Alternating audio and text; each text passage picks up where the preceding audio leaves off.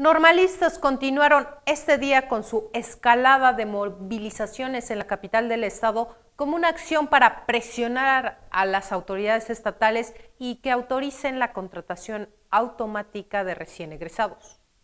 Normalistas continúan realizando protestas para exigir la contratación automática de los egresados de las 11 escuelas normales de la entidad. Este día instalaron un plantón frente al edificio de la sección 22 de la Coordinadora Nacional de Trabajadores de la Educación sobre la calle de Armenta y López y en Guerrero. Señalaron que desde 2016